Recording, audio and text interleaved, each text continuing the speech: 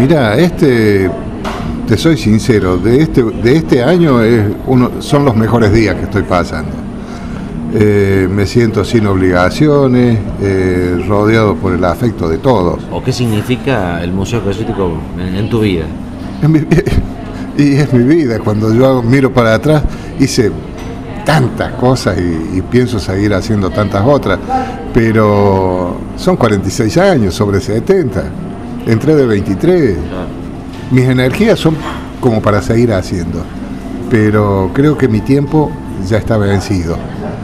Este último cambio, eh, cambio político, no quiero decir que sea para peor, pero ha cambiado todo.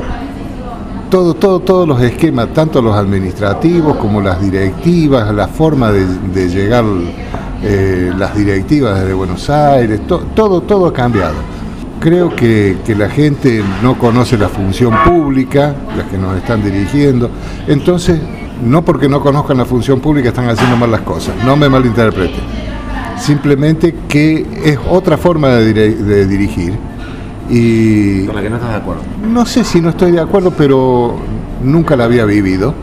Entonces me costó muchísimo, muchísimo este último tiempo y voy a estar eternamente agradecido a la gente que tuve a la par, que, que sí, mucho más joven, se supo ayornar y que me ayudaron